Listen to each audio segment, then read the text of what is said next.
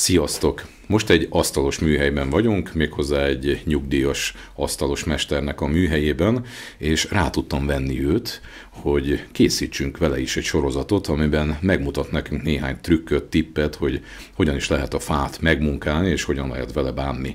Én azt gondolom, nagyon sokat fogunk tanulni tőle, hiszen nagyon tetszett nektek a Debrecenben Kovács Mester Péterrel készült videósorozat, úgyhogy azt gondolom, hogy méltó folytatása lehet ennek az asztalos szakmában is, hogy hogyan készülnek ezek az igazi remek művek. Ráadásul nem csak asztalosként működött az úriember, hanem ő kádár szakmát, a kerékgyártó szakmát, és ellette, és mellette ezt az asztalos szakmát is kitanulta, és folyamatosan dolgozott egész életében, több mint 61 éven keresztül. Úgyhogy azt gondolom, hogy nagyon nagy tudása és nagyon nagy tapasztalattal rendelkezik, és pont ilyen emberekre van szükségünk, akiktől lehet tanulni, és ők át tudják adni azt a sok-sok tapasztalatot nekünk, amit esetleg ti is fel tudtok használni az otthoni barkácsolásotok közben. Néhány érdekességet mutatok most ebben a videóban csak így ízelítőként, hogy miket lehet felelni egy asztalos műhelyben.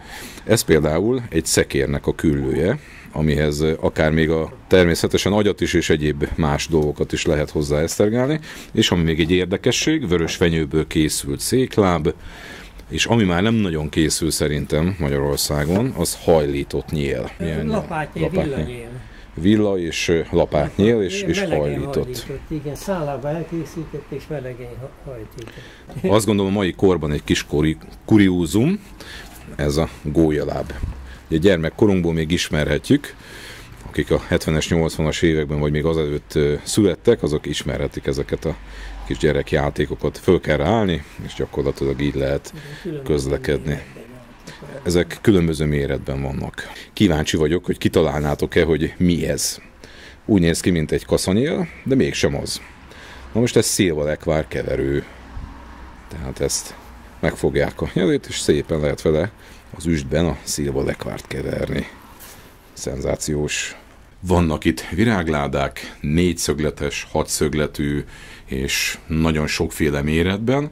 Ráadásul van bennük ilyen műanyagbetét, és a műanyagbetét alatt pedig van egy kis tál, van jó pár darab kaszanyél, illetve előkészített ásók, rugóval, azok is taposóval így sorakoznak. Azt gondolom sokan felismerik ezt a szerkezetet is. Ez nem egy régi, tehát egy padláson talált vajköpülő, hanem ez egy új vajköpülő.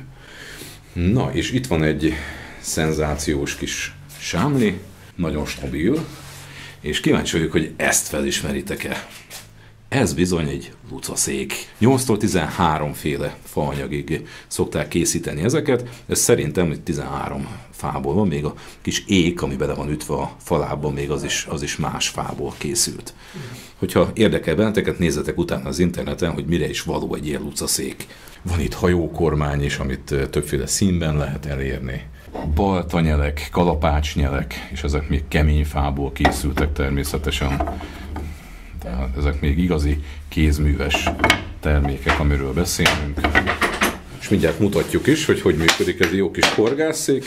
Be kell dobni az autóba, így kell szétnyitni, így kell összecsukni, és ugyanezt tudja ez a kis asztalka is. Tölgyfából készült szenzációs. És kis helyen elfér, horgászathoz ideális, ki tudjátok vinni, és nem fémen kerülni. Szerényebb kerti uh-huh. Kisebb kerti partiról is lehet ezt használni. Azt gondolom, hogy az udvar dísze lehet. Ha méhészkedtek, akkor itt találhatóak ezek a méhészetben használt keretek.